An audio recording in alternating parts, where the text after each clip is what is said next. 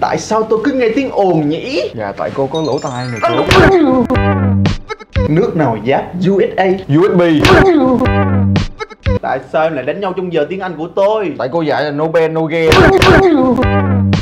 Nhắc bài bàn là hại bạn nghe chưa? Dạ làm sao cô để nó hại em đi cô Hại tao hại tao Muốn làm bánh tại nhà ta phải có gì? Coi nhà Lần tại sao em đốt sổ đầu bài? Tôi một lần chơi lớn xem cô có chậm chưa Em có một cây kẹo, Hiên xin em một cái Hỏi em có mấy cái? Có làm mới có ăn xinh xinh gì Chó đen gọi là chó mực Mèo đen gọi là mèo mun Vậy heo đen thì gọi là gì? Heo bít theo chuồng luôn Em hãy nêu những trận đánh của Quang Trung, Nguyễn Huệ Hai anh em quan chung và Đơn vị tính điền trở là gì?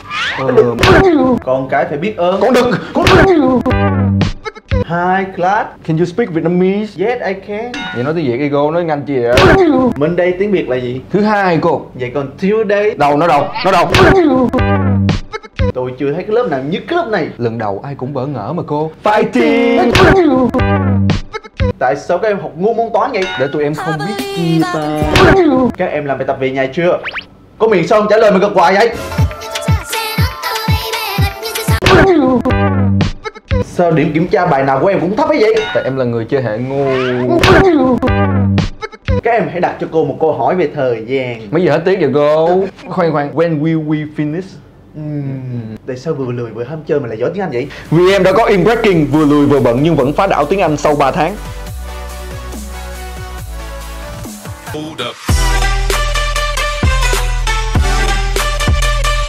Hãy like và subscribe cho mình nhé.